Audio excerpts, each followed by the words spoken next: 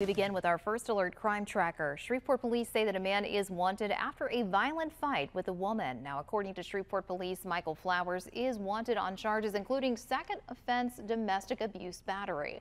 Now, officers responded to the 300 block of Ratcliffe Street after the victim reported Flowers allegedly hit her in the face multiple times, causing cuts on her face and around her eye. Now, the victim was taken to the hospital and treated for her injuries, but anyone with information on Flowers' whereabouts are asked to contact Shreveport Shreveport Police at the number on your screen.